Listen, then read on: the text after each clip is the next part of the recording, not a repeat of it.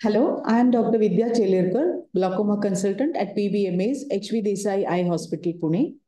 Today I am going to talk to you about glaucoma on the occasion of World Glaucoma Week 2024, which is being celebrated from 10th to 16th of March this year to create awareness about glaucoma.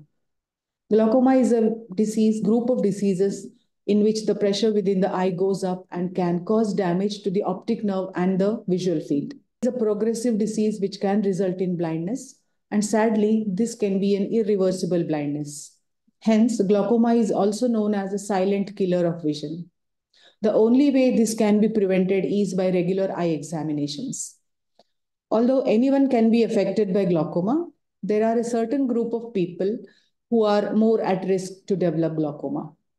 People above the age of 40, people with a family member having glaucoma, people with high plus or minus numbered glasses, people using steroids, and sometimes after an eye surgery or an eye injury. So it is advisable to have a regular eye checkup after the age of 40. The eye doctor would examine your eye pressure, the nerve of the eye, and do certain tests like perimetry and OCT to diagnose glaucoma. There are several eye drops available for the treatment of glaucoma.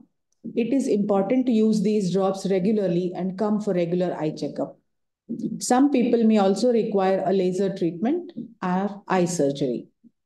Remember, a regular eye examination can help you to prevent glaucoma. Let us all unite to create a glaucoma-free world. Please come forward and get your eyes examined. Thank you.